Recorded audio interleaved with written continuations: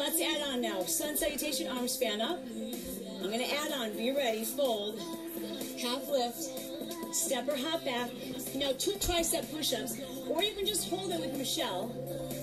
Down dog, step in right left. I love it. Fan up, fan, fold, half lift, step or hop back.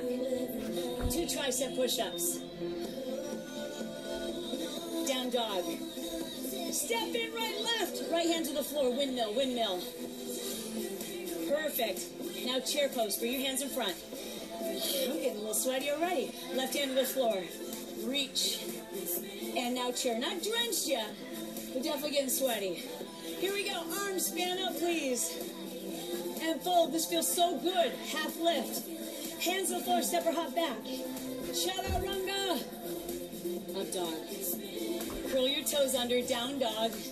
Step in right, left. We do it again, we do it again. Fan up, fan up, fold, half lift, step or hop back, chaturanga, up dog, curl under, down dog, step in.